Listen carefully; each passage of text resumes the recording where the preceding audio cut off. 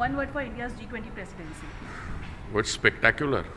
And what have been the highlights so far of this Well? I mean, you can see the highlights.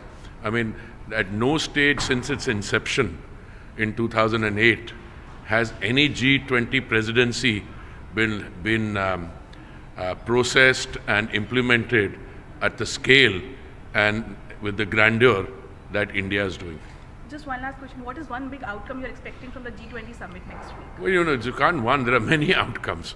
I mean, there's a showcasing of India. There are other individual uh, outcomes, etc. So, and you never uh, anticipate outcomes till the event takes place. Thank you. Thank, you so much.